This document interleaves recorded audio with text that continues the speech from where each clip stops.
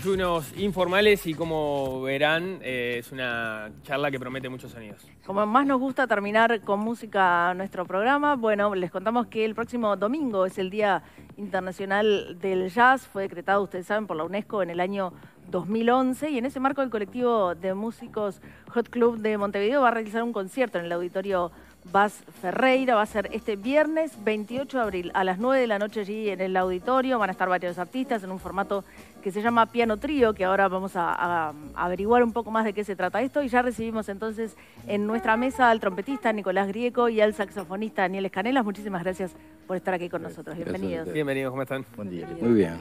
¿Cómo es esto del piano trío para, para esta fiesta especial? Bueno, esto es lo que se llamaba sección rítmica. Es un piano con bajo y batería que en este caso es un poco la, base rítmica, el motor de, este vehículo que, va caminando en, cada tema de jazz. es, como el, corazón de, la formación en este caso. La base, el corazón, exacto. Ahí está. Piano, batería y contrabajo o bajo.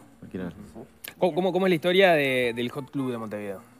Bueno, el Hot Club de Montevideo está cumpliendo 73 años en este momento, es decir, este, yo me integré ya con unos cuantos años de... no, tenés 73. No, tengo. Sé que en aquel momento este, se juntaron Paco Mañosa y Horacio Bocho Pintos este, y desarrollaron lo que hoy es el Hot Club de Montevideo, ¿no? Esta idea de, transmitirle a toda la comunidad un, estilo de música que unía a la gente, que, que de alguna manera estimulaba la libertad y sacaron una revista. En aquel momento llegó a tener 2.000 socios, fue una cosa muy, este, muy multitudinaria y pasó por muchísimas etapas, ¿no? Al principio estuvieron en un sótano en Guayabos, después estuvieron en el sótano de la Alianza Francesa en la calle Soriano, y después en, sobre 18 de julio, muchos, varios escenarios, y, este, y siempre buscando el mejor jazz para, para darle a, nuestra gente.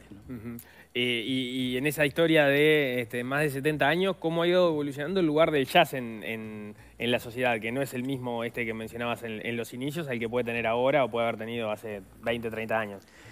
Siempre fue una referencia para los músicos de nuestro país. Y te diría que muchos de los músicos más importantes de nuestro país pasaron por el Hot Club de Montevideo en algún momento.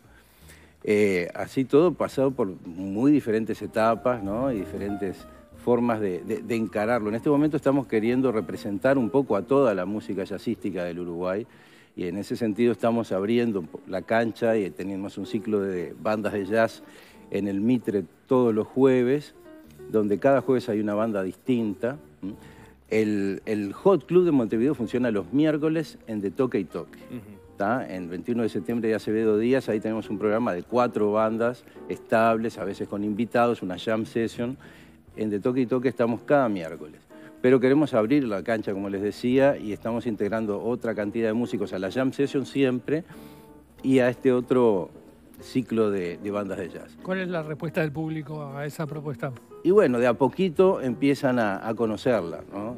O sea, por suerte tenemos el apoyo de medios como el de ustedes, que, este, que de a poco van este, haciendo conocer, haciendo llegar esto porque para que la gente lo conozca, porque obviamente no, no es algo muy conocido. ¿Y hay alguna singularidad propia del jazz eh, uruguayo?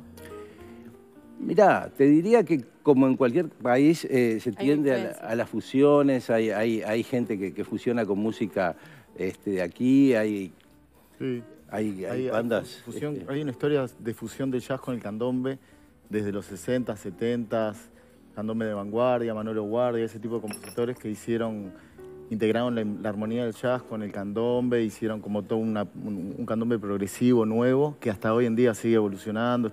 Ahora le llaman neocandombe, hay jams también, pero de candombe. Como que el jazz fue bien influyente dentro de los ritmos de acá, sobre todo dentro del candombe. Y, la escena jazzística local, ¿cómo, cómo está armada? Decían cuatro, cuatro agrupaciones por, por miércoles. Da la idea de que bueno, hay, hay, mucho movimiento, hay muchos grupos que están justamente en esa, en esa vuelta. Hay mucho más de lo que nosotros mismos nos imaginábamos. En este momento empezamos ese ciclo en febrero y tenemos marcados hasta julio una banda por semana y siguen apareciendo gente, porque también la propuesta es para todo el Uruguay, o sea, tenemos gente del interior incluso que se acerca, que están este, desarrollándose en el jazz y que vienen, proponen hacer música acá en Montevideo, ¿no? ¿Cómo pega esto en, en el público joven?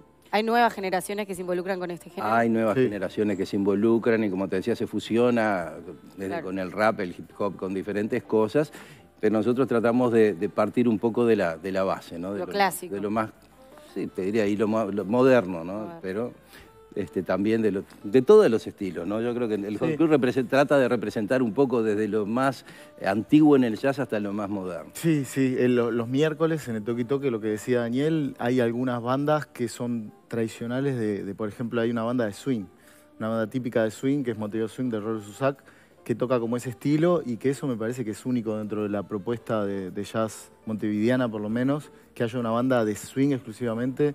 No me doy cuenta si hay en otro lugar, pero mantiene un poco la tradición y la esencia, tener una banda que toca un estilo particular. Viste que el jazz es como el rock, que tiene muchos subestilos, ¿no? El rock tiene el punk, el heavy metal, el jazz tiene el swing, el bebop, el hard bop, el free jazz.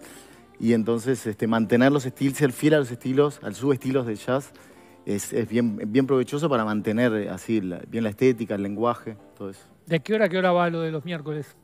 Lo de los miércoles Leo está viendo a ver si le, si A le ver si da- podemos le da. enganchar. A ver si- Hay que madrugar. Claro, vamos mucho acá. Empieza a las 9 y se va hasta las 12, a veces 12 y un poquito. Está bien, se puede ir.